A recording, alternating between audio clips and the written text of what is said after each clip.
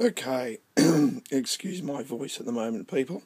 Went to the football yesterday and uh, a very important game for my team, the North Melbourne Kangaroos, and uh, I felt the need to express myself rather loudly, so I'm not sick. I've just uh, stretched out the old vocal cords a little bit too much uh, and felt the need to tell the umpires one or two home truths.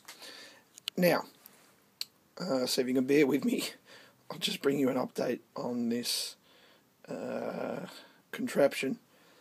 So we've still got our permanent magnet here and permanent magnet up the other end here. We've got a drive Rodin coil here. This is a pickup Rodin coil and this is a pickup Rodin coil. These two coils are on separate Schottky diode bridge rectifiers and then we're putting that charge into a cap over here. This is just a test cap. It's not the one I'm going to be using for the final uh, uh, motor.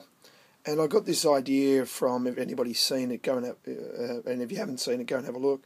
It's just Google Stargate motor, and I've forgotten the guy's YouTube channel. It's something like PMM uh, hybrid or PM, PMM4 hybrid or something like that. Anyway, go and have a look at his motor. It's really interesting. What he's done is he's got a series of super caps like these. These are two and a half volt, 22 farad super caps, and then he's got this uh, on the end here.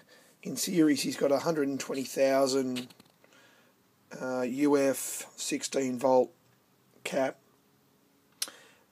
and he has the charge from his motor, which is completely different to anything I'm doing here, from his generator, filling uh, this cap here, and let's just say for argument's sake it's a 120,000 UF 16 volt, and sort of feeding back into his super cap array, and then he's driving the motor from say on about 7 volts, so around here, he's got his, and this is my power lead to the motor and this is the uh, power lead to the battery just to charge the caps up. And then this is the lead from the um, in his motor the lead from his generator. So in my case this lead is connected to the two bridge rectifiers picking up the charge from this coil and this coil down here. So it mine doesn't run anywhere near as well as his does.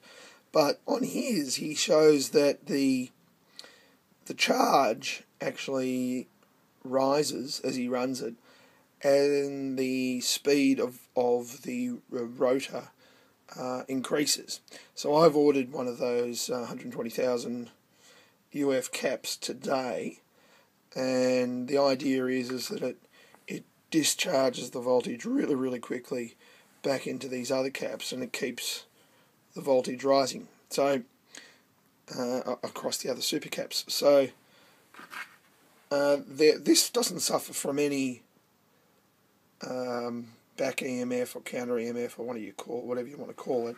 I could get more charge into the cap uh, if I used a reed switch, say, across these charge coils to short them out and then collect the collapsing uh, EMF.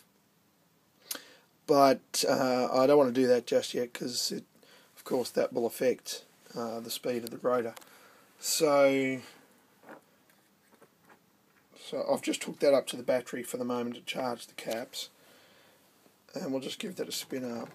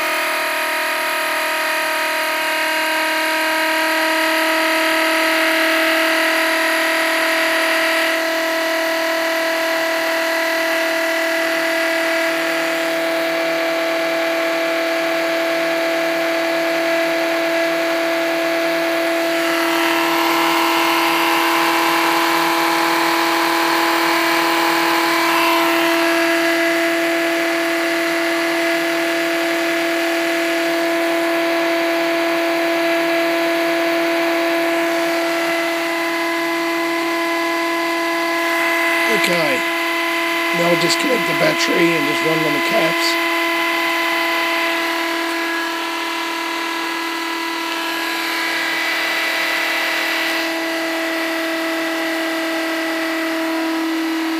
And you can hear it run down. It'll run for about oh, about five minutes or so on these caps.